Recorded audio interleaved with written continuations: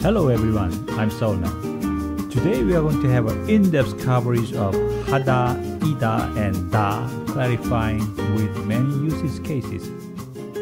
So far, we have used these ones with some examples, but today we are going to add many details with good amount of examples. These hada, ida, or da can be used as a wild cards in many cases, so it is important to master the uses of these. You will be very fluent in Korean if you master these.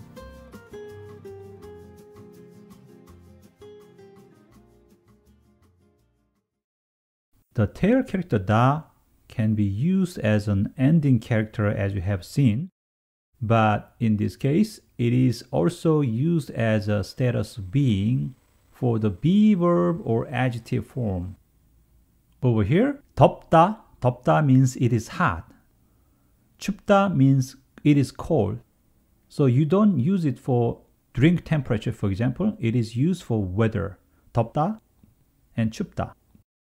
The next one is also an adjective case. 뜨겁다 and 차갑다. Unlike 덥다 and 춥다 used for weather, 뜨겁다 and 차갑다 are used for the temperature of things such as drinking water or tea or coffee or food. So 뜨겁다 means it is hot. 차갑다 means it is cold. 뜨겁다, 차갑다. As you may realize by now, Hangul has many different ways of representing different level of status or thing. The previous ones, 뜨겁다 and 차갑다, were uh, hot and cold. 따뜻하다 and 시원하다 are warm and cool. So 따뜻하다 means it is warm. 시원하다 means it is cool. So these can be used for temperature as well as weather. So you can say that for temperature of beer or cola. But also when you want to say that weather is cool, then you can say 시원하다. Oh, 시원하다. So as a summary, when the tail word 하다 is used with an adjective, it actually represents status of something. The next one is ida. Hangul ida is mostly likely to be used as an English be verb so it is morning is 아침이다, 아침이다. It is evening, 저녁이다, 저녁이다.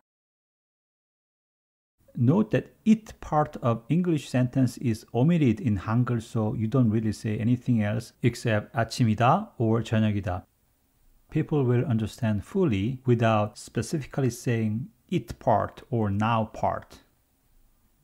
So in Hangul, if something is truly implied, then you don't really need to say that. For example, when somebody says 아침이다, that means it is morning. Another example of using ida. It is daytime. 낮이다, 낮이다.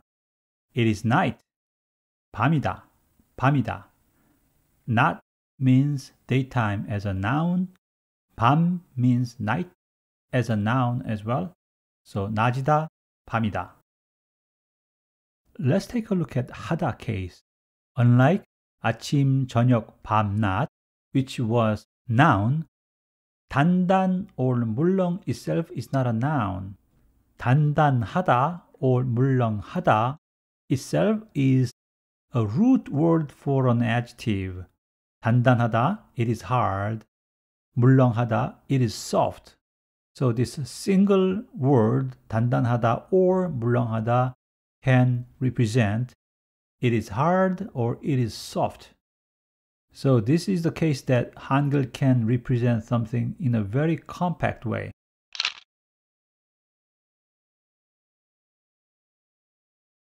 Let's take a look at how we can use 다, 하다, or ida in full sentences when we need to say something a little bit more complex and cannot be implied naturally, then we need to use n, 은는, 이가, adjective 다, 하다, or ida form.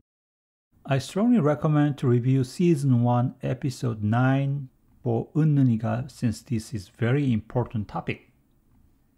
So n part over here is a subjective noun and adjective part is a describing part. As you may recall, we have to use either un or 는 based on the 받침 existence of this end part. If the end part ends with a 받침, then we use 은. If it does not have a 받침, then we use 는. Okay, let's try a simplest form for a full sentence. N은 A다 or N은 V다. A is adjective, V is verb here. So I am going can be said in Korean as 나는 간다. 나는 간다. So it ends with a 다.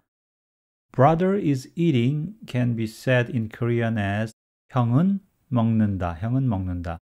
We have seen this sample before when we studied NV template. So this is the case that ending character da is used for verb. Okay, let's build up some vocabularies preparing other full sentences. Four seasons becomes 네 계절 in Hangul. Remember 하나 둘셋넷 and 한두 세네? Because four is used as a describing adjective for the 계절 which is season. We use 네 계절 instead of 넷 계절. Spring is 봄. Summer is 여름. Autumn or fall is 가을. Winter is 겨울. 봄, 여름, 가을, 겨울. Korea has four distinctive seasons. 봄, 여름, 가을, and 겨울. Here we see an A template again that we learned in season 1. So how do you say summer is hot? 여름은 덥다. 여름은 덥다. How do you say winter is cold? 겨울은 춥다. 겨울은 춥다. This is typical NA template you already know. Unlike root words for verb, the root words for adjectives can be used in a sentence without modification, just like this one. 덥다, 춥다. Okay, let's try a little bit longer sentence using complete subject. A complete subject is a group of words that includes all the words that tell whom or what. So in this case, 한국의 여름, it's Korea's summer. Do you remember 의 being used as apostrophe s? So 한국의 여름 means Korea's summer or summer in Korea. So how do you say summer in Korea is hot? 한국의 여름은 덥다. How do you say winter in Korea is cold? 한국의 겨울은 춥다. if you are living in a country like India or Malaysia, it's hot all the time. So you can say that 인도의 겨울은 덥다. Winter in India is hot. What about spring and fall in Korea? Spring in Korea is warm. 한국의 봄은 따뜻하다. Note that we used 하다 here because 따뜻하다 is an adjective saying it is warm. 한국의 가을은 시원하다. 시원하다 is cool. So autumn in Korea is cool. 한국의 가을은 시원하다. 한국의 봄은 따뜻하다. 한국의 가을은 시원하다.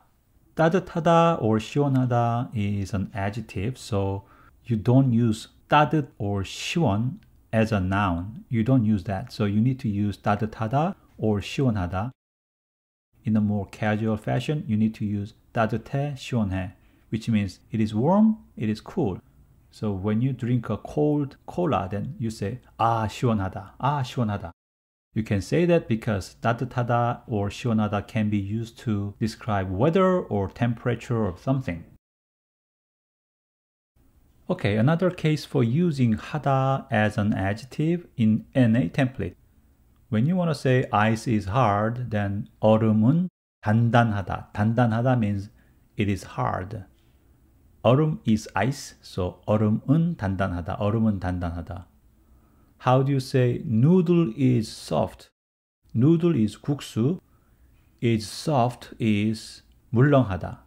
So 국수는 물렁하다. 국수는 물렁하다. Since Korean grammar structure is so different from English, it is really hard to say whether is is 은 or 는 or 하다. So 단단하다 is describing something hard. 물렁하다 means something is soft, but it doesn't really do one-to-one match with English be verb. So you can think that ice is part can really map to 얼음은, but 단단하다 can also map to hard or is hard.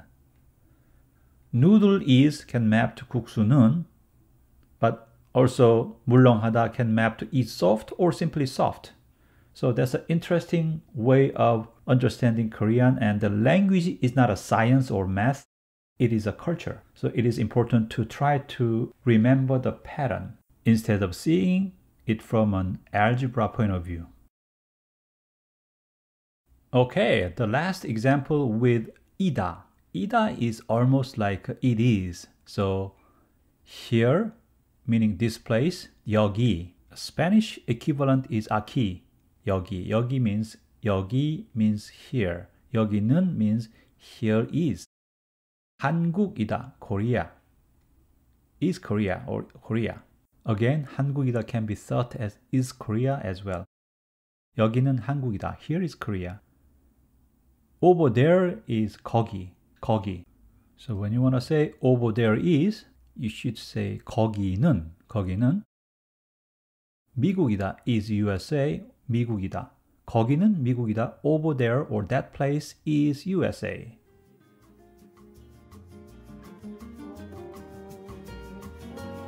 Okay, that's it for today. Hope you get better understanding of uses of hada, ida, or da. They are basic building blocks of Korean sentences.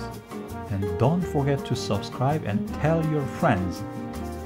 Adios.